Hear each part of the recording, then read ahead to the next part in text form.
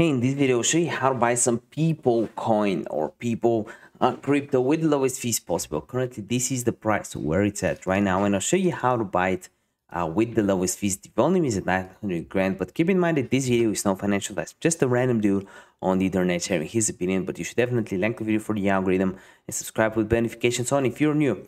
The cool thing when you subscribe is I upload over 30 of these videos every single day with the hottest cryptocurrencies and crypto tokens. So if you want to learn more about that, make sure you subscribe uh, right now. How do you buy some Peepo? You need two things. First, you need a wallet. Personally, for me, that's the MetaMask wallet. So go to metamask.io, click on download now, and edit as a Google Chrome extension. You also need to buy some BNB. To buy BNB with lowest fees, use the first link in the description down below. Sign up for Binance, buy BNB there, transfer it to MetaMask.